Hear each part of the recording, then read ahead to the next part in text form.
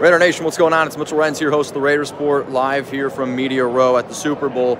Just wanted to give you some updates and some takeaways. I just sat down and I spoke with ESPN NFL insider Jeremy Fowler about the Raiders, about some of the situations going on this offseason.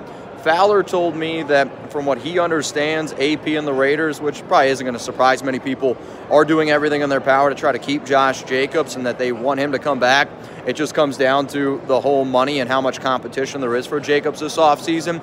The other thing that he told me, it was the first thing that he said was the Jayden Daniels speculations are 100% true.